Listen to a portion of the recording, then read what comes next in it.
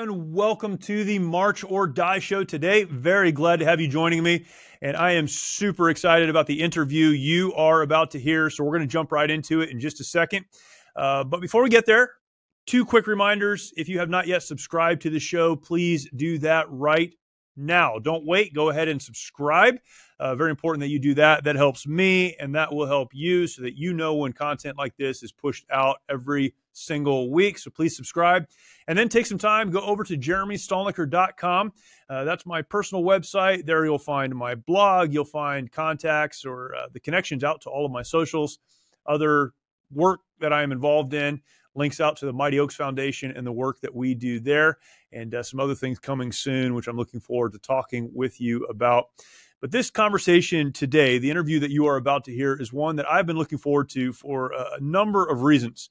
Uh, one is my guest, who I'll introduce here in just a second, and his personal history, which he talks about uh, during this interview. Uh, but the other one is just the story that he tells. It's an amazing story. I- am a history guy. I, I, love history. I read history. I study history. Um, uh, other really than theology and and you know kind of ministry work. Other than that, which I read and study, uh, history is where I spend most of my time. And one of the areas I just have not known a lot about is um, the area that we're going to talk about today: the Armenian genocide. Uh, Armenian Holocaust and and all that took place there. Uh, you'll hear this in the interview, um, but two million Christians murdered. Uh, one and a half million of those were Armenian. This is a story that, if, if you listen carefully, in the news once in a while on the periphery. There's a story about this, but uh, very few of us know really anything about it. And our guest today is uh, someone who spent a lot of time not only learning about that broadly, but very specifically a hero's story. And uh, what an unbelievable story. I won't ruin it for you. I want to, but I won't ruin it for you. But my guest today is Michael Gavlak. Michael is um, a film producer. He's been involved in uh, quite a few projects in Hollywood. He'll talk some about that when he tells his story uh, in just a second. He is an author. Uh, he is a Christian, and he approaches all of this work from the perspective of being a Christian, being someone who was gifted by God, who's been given opportunities by God, and who wants to steward over those gifts and those opportunities. And he's done that certainly in the project that we're going to talk about today but uh, very excited to share this conversation with you. I guarantee this is a conversation that is going to suck you in as he tells this story. And it's one that you'll not only enjoy, but I trust you'll learn from and be able to share out with others who will be blessed by it as well. So, without further ado, my interview with guest Michael Gavlak. Michael, thank you for joining me, man. Really appreciate it. Very excited about this conversation. Thanks for having me, Jeremy. Um, man, there is so much here, and uh, we were actually connected through a mutual friend, and he said, "I've got a friend, and you need to meet him, and then you need to interview him." I said, "All right." Uh, when Joel says you need to interview someone, I do it, and um, uh, really glad that he did. Um, let's start first of all with your story. You just your personal story is interesting, and uh, I'd love to hear about that, as well as kind of your your faith story, kind of intermingled in that, because a lot of folks in your world uh, don't share a faith story. Um, so, if you wouldn't mind, let's start there. Uh, all right. Well, first of all, how much time do we have? I can talk a long time. um, I could take five hours, but I'll I'll keep it short. Um, so, I was here's the short version. I was seven years old when I saw Star Wars. Right. So, Star Wars mm. came out. I walked into theater as a normal seven year old kid, came out of the theater, life transformed.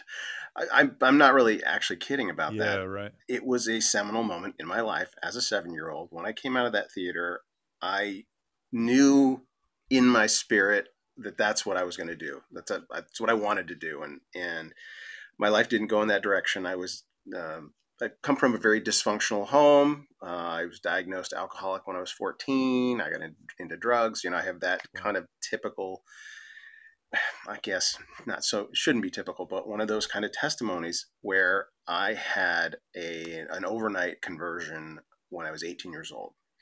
Uh, my whole testimony could take another hour, but it was I was face to face with the risen Jesus. I didn't see I didn't see anything with my eyes or hear anything with my ears, but it was undeniable that Jesus was speaking to me. He walked in the room and said, You cannot serve two masters, choose who you will serve. And that was May mm-hmm. 6th, yeah. 1988. I was 18 years old, and that's the day I was I was transformed and, and set on the right path. It was another another 15 years or so uh, before I actually got my foot in the door of the entertainment industry. I worked in, I, I went on the mission field. I went to actually two year um, Bible seminary. I was a youth pastor, associate youth pastor for several years. Then I decided to get an actual four year degree and I worked in a restaurant. I worked in the construction industry and I got my bachelor's degree in communications at the age of 28. Like, so I, can, I started when I was 24, finished when I was 28, a late bloomer and even then i didn't get my foot in the door. I was just following you know whatever god was laying out in front of me he brought in the, the, the woman of my dreams like i couldn't believe it um, you know the church i was mm-hmm. going to and and you know god putting all those pieces together. Then i got laid off from a career that i was working and it was that day my wife said to me we'd been th- married three years she says i don't want to i don't want us to get 10 years down the road and to be the reason you didn't pursue your passion. And mm. I, I, I, remind her these days that she said that, and she goes, "I said that? that doesn't sound like me." and that's why I knew it was God, right? I knew it was uh, God was guiding me. I had just lost my job, and she comes up with that. So we ended up mm. renting out our house. We no longer own that house, but at the time we found renters, and uh, for the next two years, I buckled down and started. Um, I had already started teaching myself editing software, um, Final Cut Pro. Um, was a you know professional grade software at the time that had just come out. So I mm-hmm. was teaching myself editing, and I was also teaching myself screenwriting, um, proper format for screenwriting. So it's just I was developing developing some skills. If that's the industry I wanted to work in, I should probably know something about it. And so it's um, long story, just a little bit longer. Somebody saw something I edited, and that my first Hollywood gig, I was 35 years old, coming in, getting my mm. foot in the door on the show called Super Nanny. I don't know if you've heard of Super Nanny, a mm-hmm. reality show about a yeah. a British nanny come over here to to fix some uh, poor parenting skills, and yeah. it was a, it was a hit show. Um, I worked in the casting department initially, and then I moved into the post production uh, as an assistant editor, and then from that show, uh, this is the way it works in Hollywood. You you network with people, and you go from show to show. So one of the producers took me to another show. I became an assistant editor, then I became an editor, and then now I'm a um, I'm a a union editor on a uh, very very well known um, uh, entertainment gossip news show uh, I won't hmm. get into that, but I actually have one of these these things sure. now, right there, back in the behind me. So it's like, I, it, yeah. so it was clear to yeah, me, you know, God got me my foot in the door and, and advanced me. Um, he gave me favor, yeah. I should say. Uh, it's one thing to know the skill set; it's another thing to be likable, and those two things combined, God uses. So, I've had kind of a mm-hmm. meteoric rise. Not like I'm famous or rich or anything, but uh, from being 35 years old, just getting my foot in the door and, and yeah. now being fairly well established. Praise the Lord. Uh, it, it, it's crazy too, like because you know I said a lot of people kind of in your industry don't have a faith story. And I think one of the challenges or criticisms of Christian people in, you know, Hollywood and in the film industry or whatever um, one of the criticisms would be, well, God gives you this talent and you're using it only for, you know, whatever for for for secular purposes and creating this content that um, doesn't glorify God necessarily. And what's interesting, I think, about your story, or a lot of things, but one of the things is God did give you those skills. You recognize that, you developed those, and He He took you kind of one step to another so you could learn the things you needed to learn so that you could then get involved in a project like the one you're in right now. And what I, what I love about kind of that arc is um, you didn't say, "All right, this is my thing. I can do this, and I'm going to be as famous as possible." It, it really feels like you said, "God, what story do you want me to tell with the gifts, the talents, and the opportunities that you've given to me?" And I, I love that about your testimony because it it's an example to to everyone, right? Boy, uh, and and living it, it's. Uh, you know, as Christians, you know, we we're like, you know, God, you've you've called us to something, right? You've you've created us all for a reason. Yeah. We're all created for a purpose, and there's a general purpose that we all share. Yeah, to, to glorify God, right? That's mm. our purpose is to glorify God. And what does that mean? How does that translate? And we're all individuals. We're all unique, and God has something specific. So it's the general purpose and a specific purpose. And whenever you know, I if people come to me for advice or career advice, one of the things I I I say, the first thing I say is there's something that you do that when you're doing it, it's like time disappears, right? Everybody mm-hmm. has preferences or, or uh, things that they're drawn to or things that they're just good at and when they're doing it and i don't mean playing video games or sitting down watching tv yeah right right there's right. there's something when you're being productive when you're actually engaging the the gifts and the abilities and talents that god has given you when you're doing it you just lose time that's a hint as to what god's specific calling for you is. And that happened when I went to when I went to that school when I went finally went to college. My final semester of college, I had a class or I had a classmate who was in the there was a film emphasis. I was in communications, emphasis public address, but there was also a communications emphasis in film, TV, and radio. One of my friends that was in that program said, "Hey, my senior project."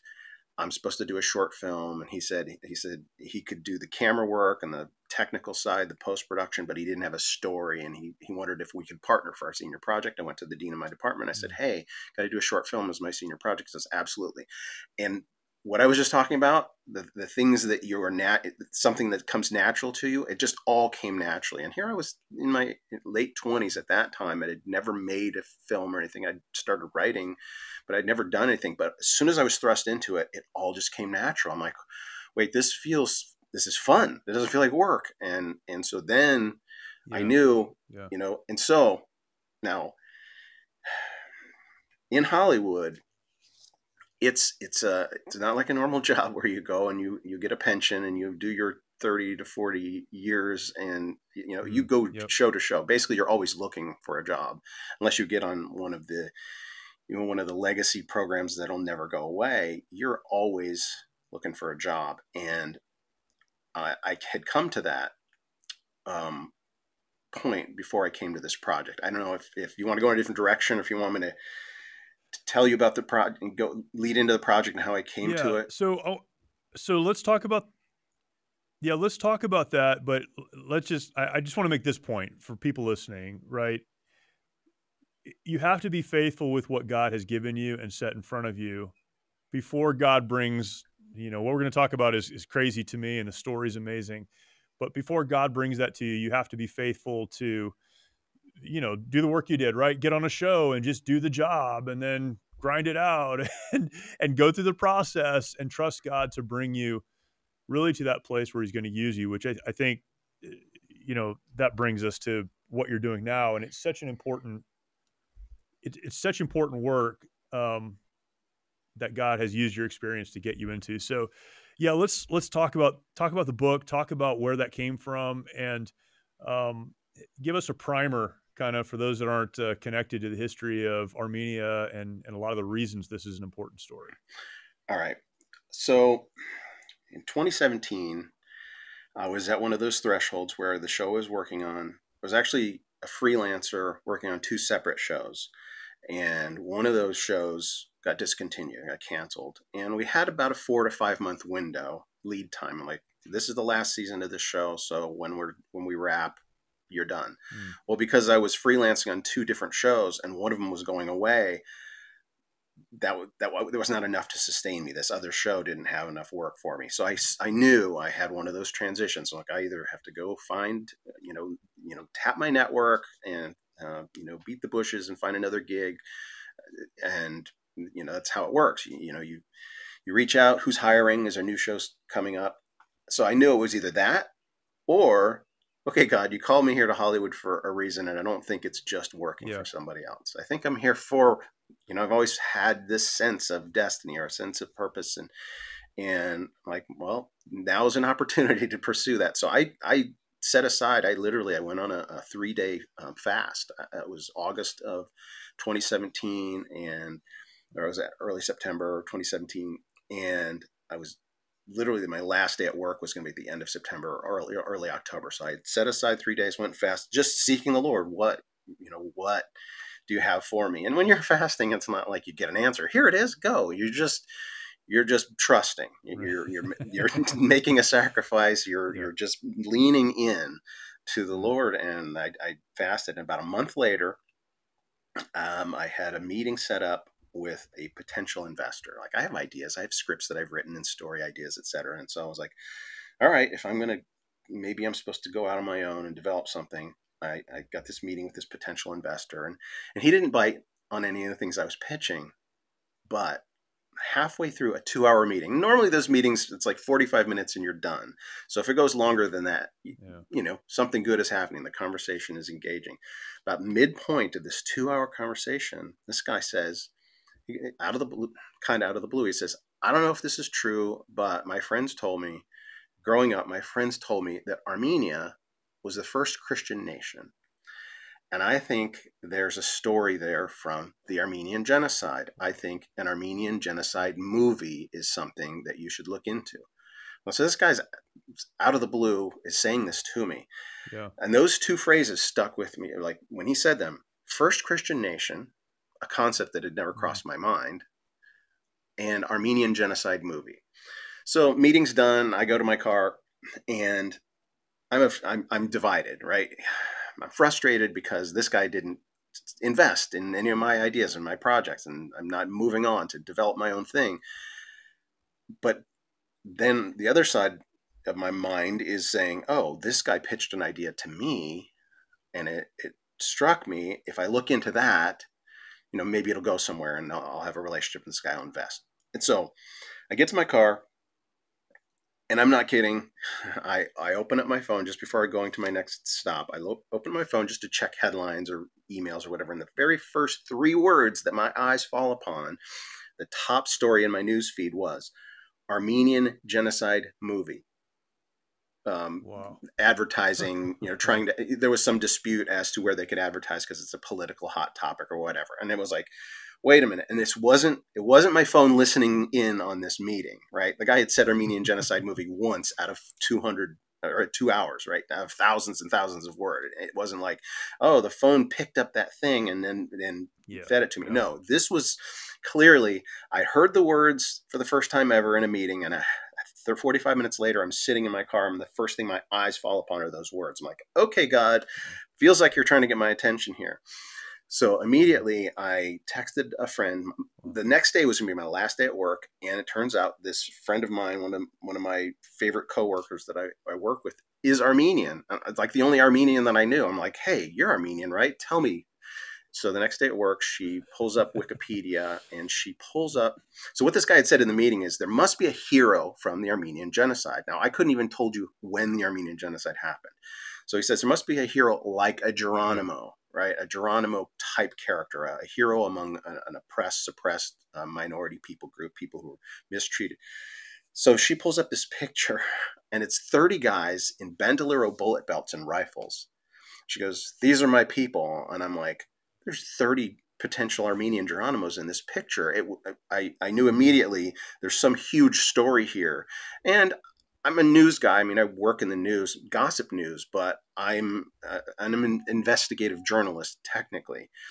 So I started digging, and the the brief primer for anybody out there who has no idea what an Armenian is, because I, I even called my brother at that time. I said, "Hey," he lived in uh, uh, Minnesota. I'm like, he's he's in his 30s at the time. Like, you ever heard of an Armenian? He goes, "No." Yeah he like never even heard of an Armenian. I said Kim Kardashian. He goes, oh, okay, mm. right? It's like people have no idea. right? We have right. no idea, and and and so I come across the story uh, briefly. The Ottoman Empire was a Muslim ruled empire, and they were a multicultural empire. They had a number of other cultures subject to them. Um, you know, Armenians, Assyrians, Greeks, Kurds, all living harmoniously within the empire.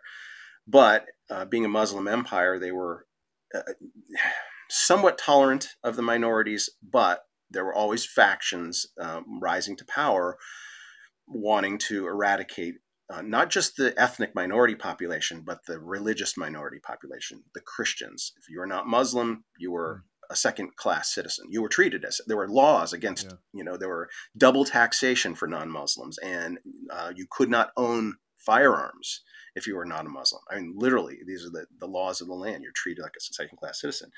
So, under the cover of World War II, what ha- or World War One, sorry, is while the West were beating the heck out of each other, the Ottoman Empire takes it upon itself to massacre the Christian minority population. And that was some 2 million Christians. And the reason we refer to it as the Armenian genocide is 1.5 million out of those 2 million were ethnically Armenians. But they weren't just targeting Armenians. They, that was the main population, but there were about 300,000 Christian Greeks, about 200,000 uh, Christian Assyrians, and then in, Kurds were split down the middle between Muslim and Christian. So there, uh, any Christian Kurds were also massacred uh, in this genocide. It, it, was wasn't it, it was technically a genocide, but the word genocide hadn't even been coined yet. And so um, I went into I can fast forward uh, just to summarize. It was referred to as a, a, Holocaust, and it was the Christian Holocaust of World War One, and it was literally what Hitler modeled his Holocaust after. And, and this story ties those two uh, genocides together, um, and we can get into more details. But uh, take it where you want to go. There's a hero story that I discovered that gonna yeah. that's gonna blow this whole thing open. So, you know, most people, and we talked about this even before we started. I was talking to my high school kids today and asking them what they know about the Armenian genocide. And they're like, the what and when and what are you talking about? right. And I think that's most people.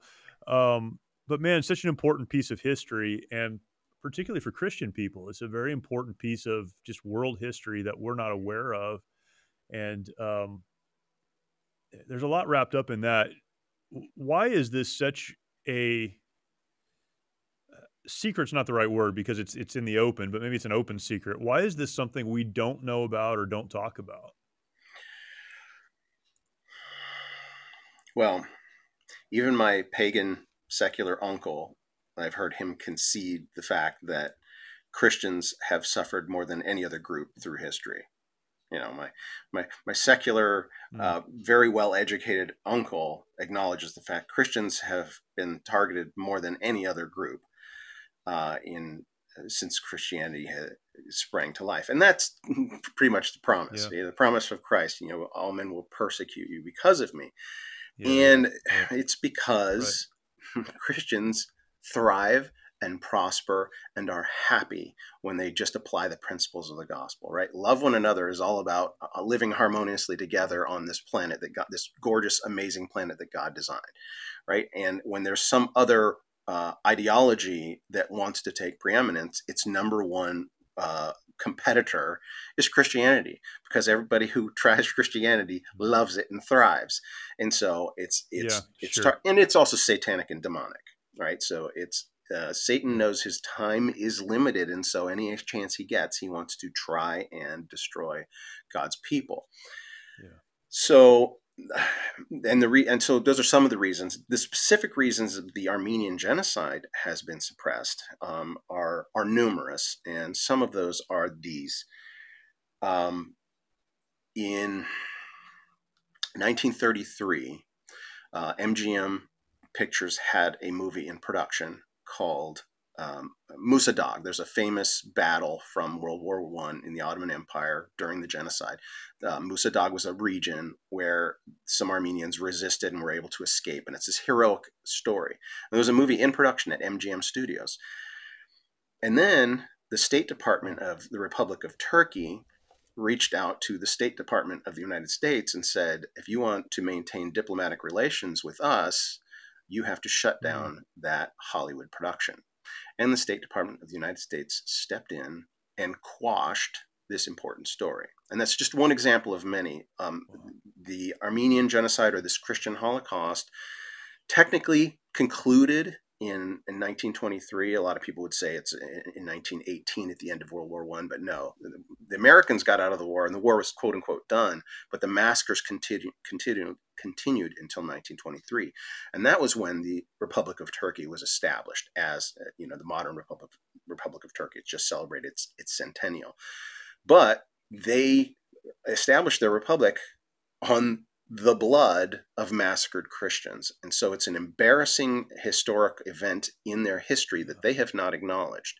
Uh, Germany has acknowledged what they did, mm-hmm. right? But Turkey, to this day, yep. continues the genocide. What Turkey did is um, Mustafa Kemal was the uh, founding president of the modern Republic of Turkey. And one of the things he did is he changed their alphabet.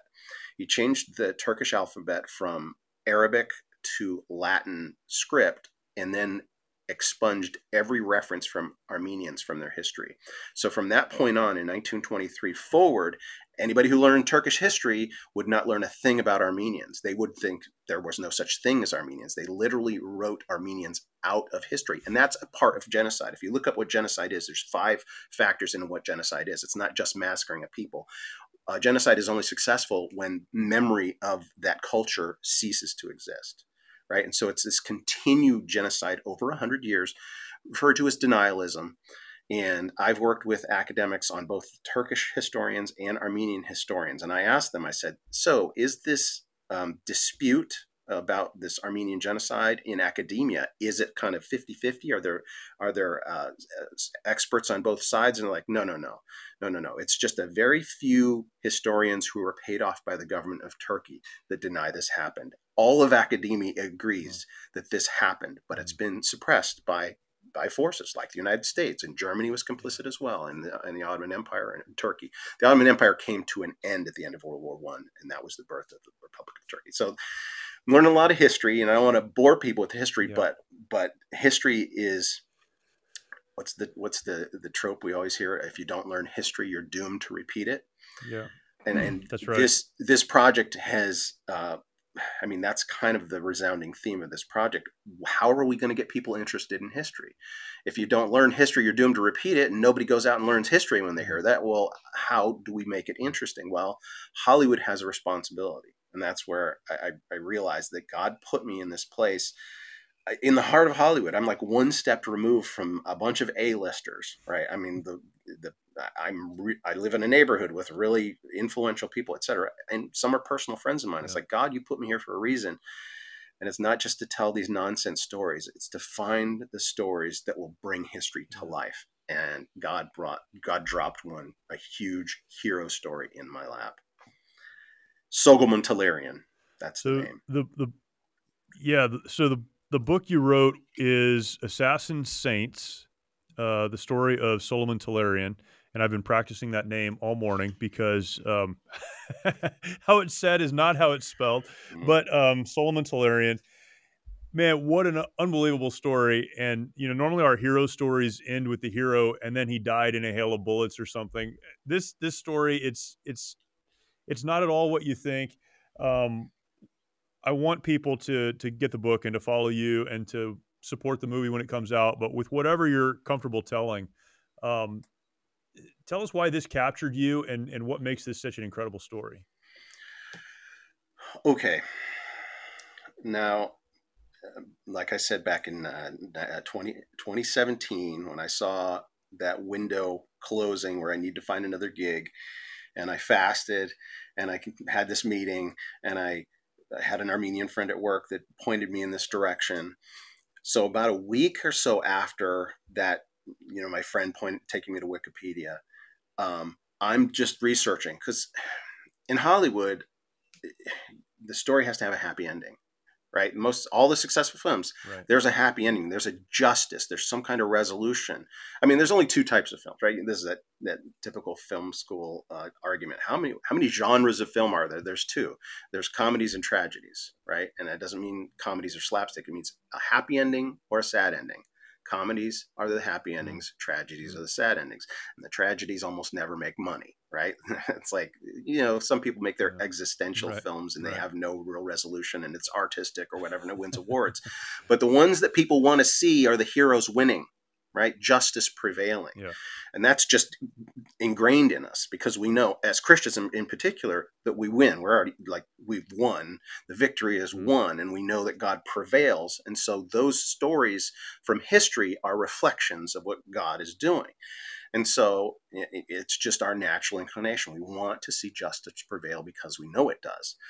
So I'm digging. I'm like Armenian genocide. This it's been suppressed for 100 years. This was a million, uh, 1.5 million Armenians massacred, 2 million Christians wiped out. Where's the happy ending in this? Where, and and and so you know Hollywood.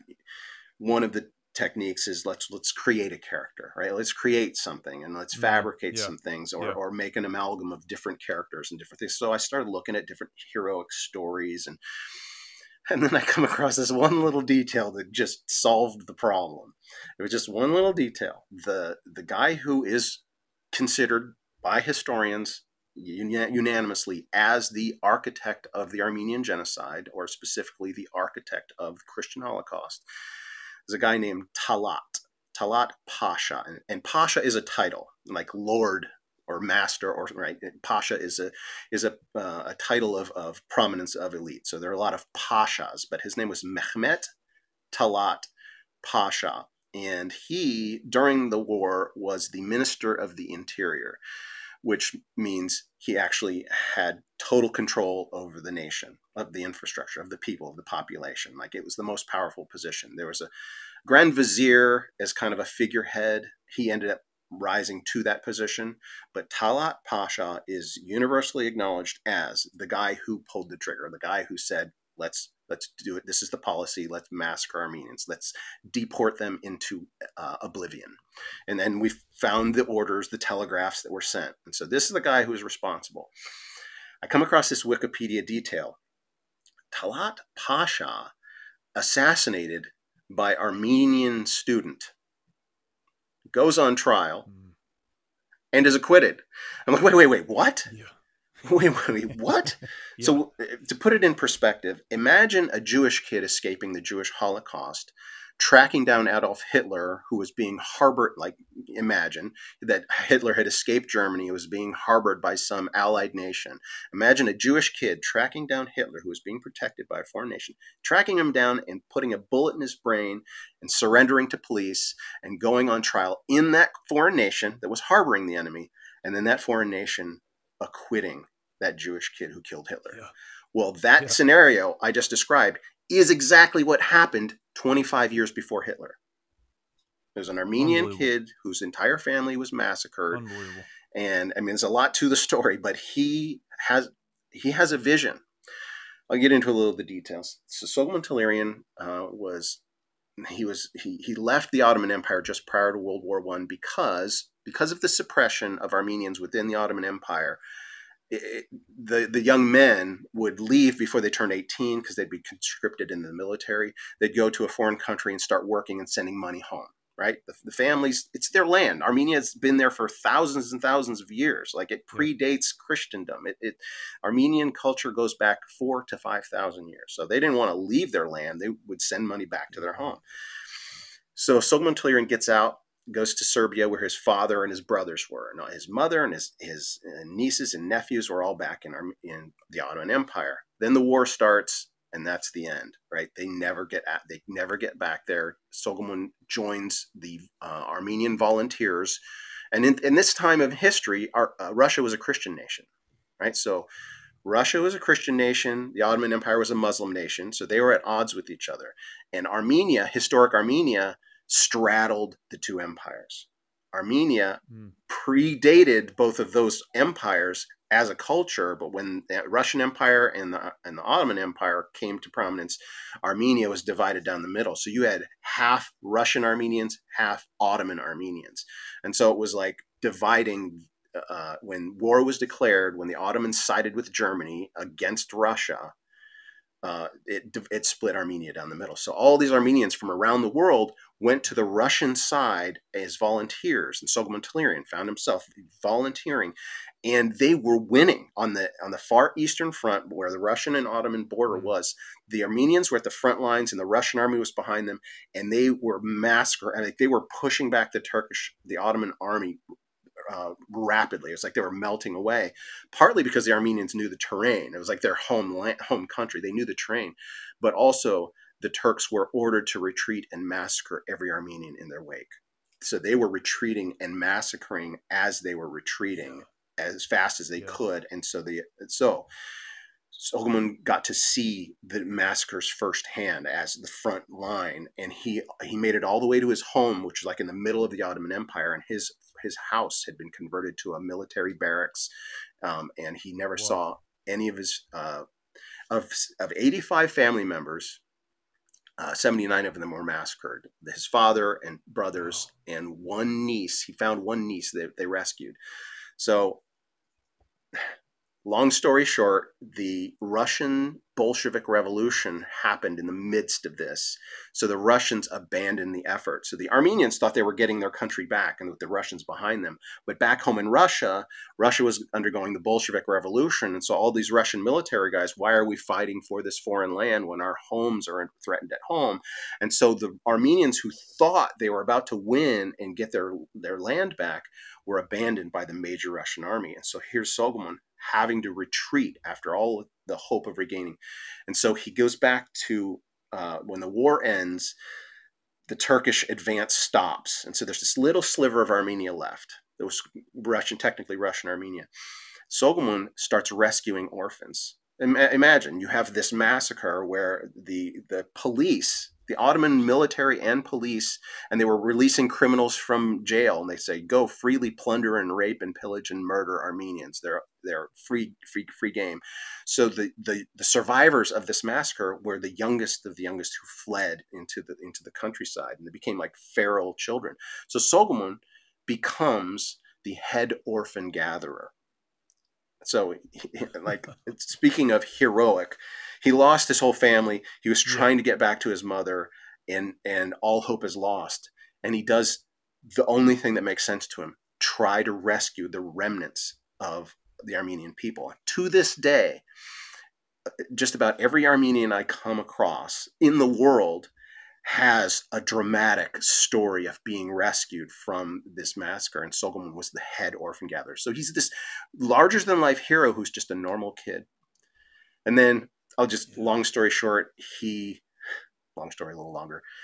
He tracks down, he ends up, he has a vision, right? And this is where I, as a Christian, am seeing the story as as a secular historian can't see it. Soghomon wrote his own memoir, and uh, and it had never been translated into English until I came across it. It was had never been translated into English. It's a guy who went on trial and was acquitted for assassinating a world leader wrote his story, and it had never been translated until I got the top translator from Armenian to English to, to do it. He's like a renowned translator.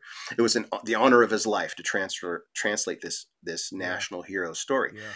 And the reason I was just chomping at the bit to get this thing translated is because up to that point, all I had access to was Soghomon's court transcript. He went on trial in Germany, a modern Western court.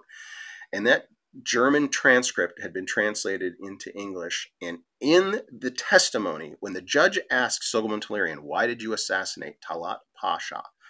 Soghomon Tehlirian, on the record, says, My mother's ghost told me that I couldn't be with her in heaven until I did this. I'm like, okay, he's testifying in court that a ghost, that his mother's ghost told him to do this and and like this is before I had his memoir translated. I'm like, I know he there were certain things fabricated in the defense testimony. There just were there were things that they they fabricated to make him appealing to the jury or whatever. But that one thing stuck with him. I don't think he would fabricate that that his mother's ghost appeared to him. So once I got the memoir translated, it's all through the memoir. He had these um, we would call them night terrors. Uh, they would be attributed maybe to post-traumatic stress disorder. These are ways that, are, that, that this would be psycho, psychoanalyzed today. But the fact of the matter is, Soghomon had regular connection across the threshold. His mother was a, a preacher's daughter. So he was a grandson of a preacher man. He was a, they grew up in a Christian culture. He had the uh, the Lord's Prayer memorized since he was like seven years old. It's like it's just ingrained in their culture. And when I read his accounts of his mother's ghost appearing to him and him having these visions of his dead relatives and other people that died. There were people that died that he didn't know he had died yet, that he had visions of, and then a week or two later he'd find out they, they had just died in the war. So he was given this glimpse across the threshold, and he had a vision around the time when he was the orphan gatherer of assassinating Talat. Uh, uh, uh, he's like, he's like, this guy has to pay for this, and nobody was holding him accountable. Fast forward six years through a series of miracles that he documents in his memoir, he gets connected to a larger uh, um, political organization scheme. Um, a lot of people think Soghomon was a lone gunman and he had to testify in court that he was a lone gunman because if he had he acknowledged the conspiracy, he would have been put to death right. because of political conspiracy. So people believe he was a lone gunman, but he was actually ordered by his government. Uh, think of SEAL Team Six going in to get Osama bin Laden, right? Osama bin mm-hmm. Laden's being harbored by a hostile foreign nation, Pakistan, and they're not going to bring Osama bin Laden to justice, right? Using a, a, more recent example, this is the exact same scenario. Soghomon Tehlirian, the, the enemy of the Armenian people, of the perpetrator of the Christian Holocaust of World War One, was being harbored in Berlin, Germany, living freely uh, to go about his go about his day and plan for his return. He was planning a return to the leadership of Turkey. And Tehlirian was inserted by a spy network. He found an apartment directly across the street. He found Talat, found his his his uh, his behavior pattern, his his uh, daily walk, and he when he got the green light, pulled the trigger, and then went on trial. And and this is the this is the savior story, right? He's a savior of his people, right? Uh, he represents all of these massacred people, and he's there to bring justice. And and Soghomon didn't know that he would survive. He didn't know he would be acquitted. It didn't matter to him. This was something that he would sacrifice yeah. himself for. And so he laid down his life and then he and then he gets acquitted and the cap of everything is he gets the girl in the end. It's literally he fell in love with a girl before the war. He fell in love with this girl before the war. And he's like i have to go off after the war. She she said where are you going? He couldn't tell her i have to go assassinate this guy. She's like where are you going? And he's like i have something to do. And he, go, he goes will you wait for me? Literally he's like will you wait for me? And she puts her he describes it. She puts her hands on her hips and say we'll we'll see who waits for who so he goes into the belly of the beast, into Berlin, Germany, assassinates Talat, goes on trial, gets acquitted, and then gets to marry the girl in the end. it's like it's the Hollywood ending of Hollywood endings, and it's actually yeah. uh, accurate history. It's not. I didn't fabricate any of this. This is all like a real story. And um, let me just tell you a little bit about what this is. Assassin Saint, you can go to assassinsaint.com uh, within the next few days, you'll actually be able to purchase this. The digital version will be available, um, and then the hard copy version will be available soon after that. Um, and that the, the, pricing and whatever that'll all be on assassinsaint.com. If you go there right now, you just see what you have back here. Um, and what this is is an academic curriculum and a Hollywood lookbook. Um, so yeah. if anybody knows what Hollywood if you're going to pitch an idea to raise funds and get collaborators, you come up with something called the lookbook, which shows, you know, gives an impression or an idea to those investors and collaborators what it looks like. So what I've done is I've I've taken the this is the first act of the script, and I have put the script in here, but I've also put the pictures of the actual characters. Whenever they're speaking over here, they're highlighted on this page. You have the locations where everything happened. You have the timeline of when it happened. And this has been signed off on by uh, Georgetown historians. So this is an academic curriculum. When you read this, you'll be learning accurate history, but you'll also be uh, visualizing an incredibly compelling story that God wrote. Right. This is one of those things that, that yeah. has been suppressed up until such a time as this. As you can tell, I could keep going on and on. Yeah, man, that's such an incredible story, and uh, I love the way you've laid it out in the book. Um, I, I, guess there's a lot of questions I could ask, but I, would imagine as you work through this, and this is you know so much research and so many conversations and so much exposure and a lot of traveling and all the things that you did, there had to have been a point where you stepped back and and for you personally, maybe I'm wrong, but where there was a moment where you're like, this is the big lesson, or this is, if there's a takeaway that I want people to get a hold of, this is this is why I have to tell this story. People need to do this in response to this story. Um, what's the big takeaway? What, other than it just being interesting, is fascinating. Um, whether you're a student of history or not, what a fascinating story. But what are you hoping people will do in response to it? What this do- what this story has done in my life, um, and I think it seems that everybody I tell about the story has the similar reaction or the uh, agreement is um, kind of my sign off a lot of times when I do um, podcasts or videos or YouTube. My sign off has been God is in control, and it's mm. it's um, God's sovereignty. And a lot of people think you know people only think God is in control when things go the way we want them to go right? It's like, oh, my guy won the election, or this happened, or that happened. Yeah. God is in control. But no, no, God is in control of everything. He's not surprised by who won the election. He's not surprised by a genocide. He's not surprised by these things. He's not surprised by the horrific things that happen. In fact, he promises them. Like you look in the Old Testament, and you know, I was just reading Solomon uh, in the Lord after they dedicated the first temple. You know, the God, the temple that man that God said he would build.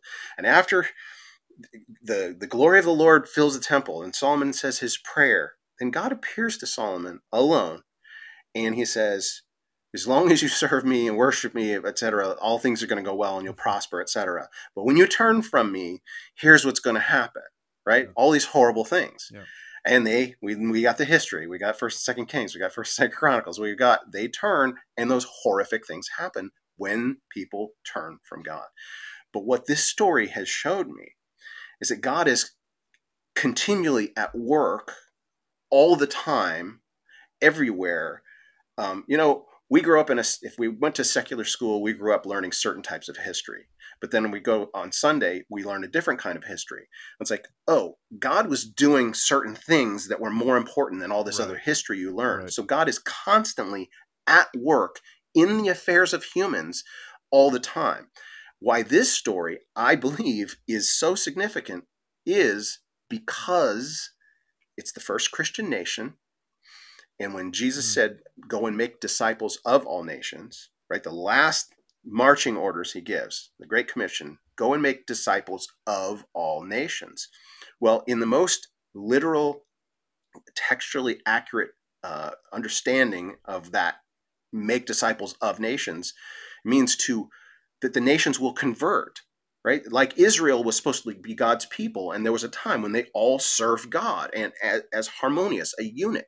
That's god's plan for corporate bodies. God jesus came to bring individual salvation but a part of god's plan seems to be corporate salvation. There, there are groups, and not doesn't mean that every person in that society that converts to Christianity is a Bible believing Christian. But when a culture adopts the teaching of Christianity, that culture thrives. Mm-hmm. And Armenia, even your secular historians will acknowledge and say this Armenia mm. was the first Christian nation. And so it's that phrase, first Christian nation, that stood out to me. I'm like, wait a minute. We as Christians are missing this. We don't even know our own history. And since Armenia was the first yeah. fulfillment yeah. of the Great Commission in that sense, it's literally the first example. It was about a couple decades later that the Roman Empire declared Christianity the, the, the law of the land. Sure. And so all of those other cultures within the Roman Empire, there's a, like a domino effect. But it was Armenia itself. And it and Armenia's conversion story is a miraculous story as well. And I could go into that. But the, the fact that there was a first Christian nation should shock the sensibilities of modern Christians because we are guilty of not learning our own history. Our own history is more important than any other history we learn. And so by by coming across a heroic story, a dramatic heroic story uh, of of God's deliverance of of justice, justice coming to the perpetrator from the first Christian nation, just by telling this history, I don't have to preach anything. I just have to tell the accurate history. This is yep. these are believing Christians who were massacred for their faith. and every secular historian agrees to that right it's it's an earth-shattering revelation that has been actively suppressed for for uh, several generations by the powers that be but we live in a time now that it can no longer be suppressed because of the example that you and I are able to communicate like this freely you don't have to depend on the studio system you don't have to depend on any of those systems you can do it yourself and and this is it's what's happening it's it's this groundswell moment there's been like uh, Sound of Freedom was an example. The Passion of the Christ was an example. Uh, the Chosen. These are examples of independent productions that are taking over. Right? It's a starved audience, the Christian community. If I start talking about the first Christian nation and this hero, Christians are going to be like, "What? How did? How come I didn't know this?" They'll flock to this. so this is the the beginning of the beginning of it all. Man, that's so incredible. Um, you're right about our history too and i think you know it's even worse for those of us in the west right not only do we not know uh-huh. christian history all we care about is what happened like you know basically since 1776 or something and we think we're the only we're the first christian nation right and i, I mean right. people talk about that and say that and and there's so much more behind that and so many people have given their lives to stand up for the truth of you know god and his word and for us not to know that man what an important work uh, other than um, and we'll give the website again, but other than assassinsaint.com, where can people follow you? And, I know there's a lot more coming on this, and you know maybe that will take some time, but where can people follow the work that you're doing? Well, there's a couple of places. I have a lot of. Um, one of the things that I've been doing consistently for the last two years um, is uh, I've created a Bible every morning uh, YouTube channel. Um, it's actually on, uh, actually, our friend, our mutual friend Joel, um, started a, a website yeah. called Christian Podcast Central. And so yeah. I've kind of taken over the YouTube side of Christian Podcast Central just by doing it um, every morning, um, a Bible every morning. So I have an app that I we play about four chapters of the Bible every morning. So the first 10 to 15 minutes of the episode are just listening to the word of God and it's on screen so you can read uh-huh. it. And then I do commentary. I'll, I'll take notes while I'm listening and I'll do, you know, just because I have some seminary level education. I worked in ministry. And so I, one of the things I think that qualifies for me for this story is I understand Christian history, I understand theology. And so um, by, uh, putting the word of God first in my life, uh, you can't go wrong. I mean, your life only improves because we're going to have an eternity to learn the Word of God. Yeah. So, if people want to join on a daily basis, I do about 10 minutes of commentary after the Bible reading. It's on Christian Podcast Central, um, Bible every morning. You can't miss it when you go there. Awesome. Um, and then through the Assassin Saint website is we're going to have a mailing list up there when if people want to be updated on the progression of things because I'm about to do a book tour. I'm like setting all this up now. The book, um, this is a prototype. The book is actually going to be printed, but I did a limited edition printing. If you can see the numbers on the side, I did a limited edition. Um, I've been working with Soghomon Tehlirian's family, like the 94 year old son of Soghomon Tehlirian autographed these books. Oh like, like there's his autograph right there. I got this done in, in November. Wow. Um, and I'm announcing it here. He actually just passed away yesterday. Yesterday. Oh, no kidding. No um, kidding. Wow. So, wow. Unbelievable. Well, Michael, thank you so much. Um, I really appreciate it. I'm sure we'll talk more um, as you know, kind of the story develops and you produce more great content. But thank you for doing this. Thank you for really, I would say this thank you for letting God use you to tell such an important story. Um, it's great to be able to kind of walk through it. So thank you. Jeremy, thank you so much for having me. And I look forward to seeing you again because uh, this is what happens. Like, I, I, it's this network of friends that are growing, like minded. Yes believers and patriots and people just wanting to bring justice. And so I look forward to the next time we see each other. What an amazing story! I um, I was familiar with this story as I've been preparing for this interview. Uh, I mentioned in the interview that Michael and I were connected through a mutual friend, and um, uh, our friend Joel he started telling me the story, and I, I just I I was not uh, as knowledgeable, as educated on um, the Armenian genocide and and all that took place and the scope of all of that, not nearly as uh, educated as I'd hoped to be, would like to be. um, began to research that and look into it, and then to hear the story uh, that Michael just told. Uh, man, what what an amazing story! So many incredible lessons there, and I'm very glad that we were able to um, have the conversation, but also discuss the takeaways. And and the big takeaway: God is in control, and He is in control. That God is outside of our space and time. That He understands things very differently than we do. And as we are able to step back and, and gain an historical perspective, we can learn so many of the lessons that uh, we're able to learn through these stories, but lessons that we can apply to our own lives about trust, about confidence, about hope, and uh, really looking to God in the midst of deep, deep trial and uh, and tragedy in so many ways. So very thankful for this conversation and the opportunity to share it with you. Please go and check out assassinsaint.com and uh, you can find uh, Michael's work there, and you'll be blessed by that.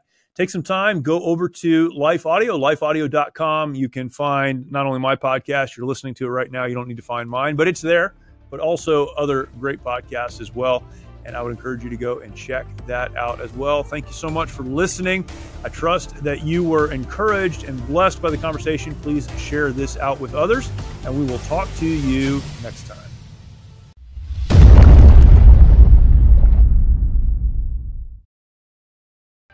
Many of our veterans feel they need to fight their battles alone. This self isolation has led to the staggering statistic of more than 20 veterans taking their lives every day. The mission of Mighty Oaks is to eradicate the veteran suicide epidemic and help our warriors change their legacies. We've been able to help over 4,000 veterans and first responders by equipping them with the tools they need to live the lives they were created to live. Our faith based, peer to peer approach has one of the highest success rates of any program available today, offering hope and understanding to those who need it most. By aligning their lives to biblical principles, these men and women are able to lead their families, their communities, and our nation. It's your generosity that can make a difference in the lives of the men and women who have fought for our country and our freedoms. Now that they're home, don't let them fight alone.